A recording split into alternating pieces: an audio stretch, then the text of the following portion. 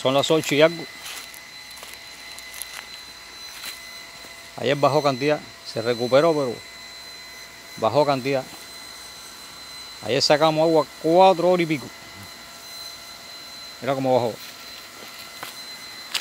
La va bajando, va mermando, mucha la seca que hay. A la semana que viene, cuando baja un poquito más, empezamos a sacar toda la basura esa que está ahí acumulada el jeguano, que arrastró siempre las corrientes. Ahí está la turbinita.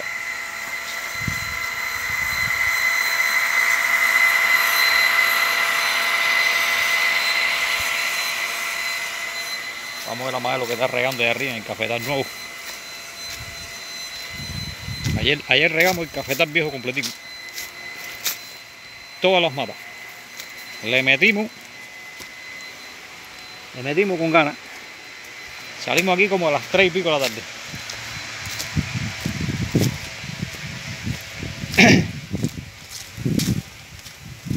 Maelo quería secarlo, pero qué va. Tenemos el tanque lleno también.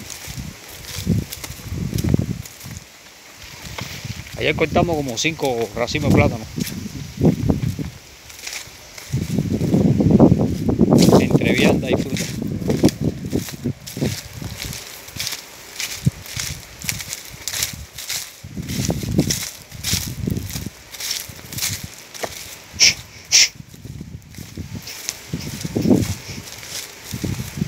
Me han botado las matas tan verdecitas. Echándole agua así, aunque sea una vez a la semana. Cada 6 o 7 días. Ellas se mantienen bien. Este es el cafetalito nuevo que floreció cantidad, hasta en el collito floreció. Ya está alargando la, la flor.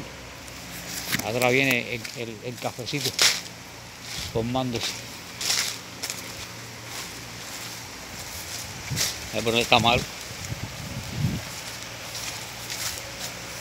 Ahora empezó de atrás, atrás para adelante.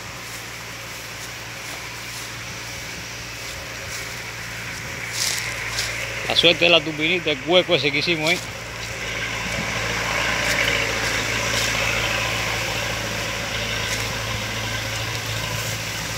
Pero aquí la tierra, ya esta tierra aquí, Está seca, seca, seca. Esta tierra aquí, pero ya esta tierra aquí para allá.